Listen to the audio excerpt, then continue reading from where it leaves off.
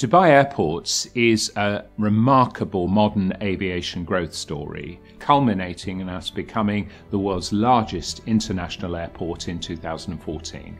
We're in a very competitive business, and minute by minute, our customers have an experience which they are going to tell their friends about. We want to make absolutely sure that those experiences are very, very positive.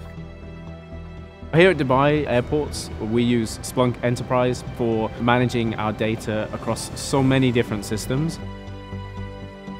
We have the world's fastest free Wi-Fi service for our passengers, and Splunk has really been at the heart of making that possible.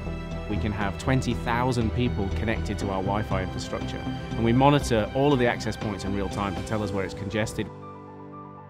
If a flight's cancelled or severely delayed, people reach for their phones first to connect and tell somebody about it, maybe complain. We tend to find that our monitoring platform through Splunk for our Wi-Fi tells us about customer service issues first. We use Splunk with our baggage system to monitor it in real time to alert us to any potential congestion points.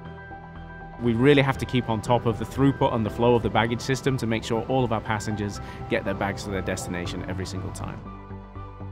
The security monitoring tells us exactly what's happening with the metal detectors, um, where people are setting off the alarms, what direction they're walking, and we share that with police and our security teams to help them improve the service and improve security uh, for the long term.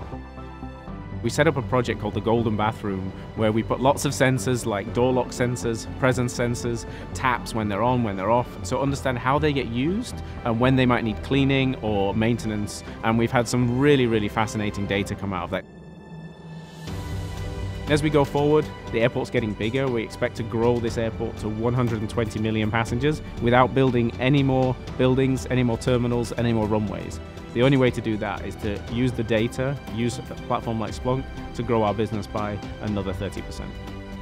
300,000 people a day depend on every aspect of our airport operating smoothly, and Splunk gives us the ability to get the data and the metrics in real time to make that happen.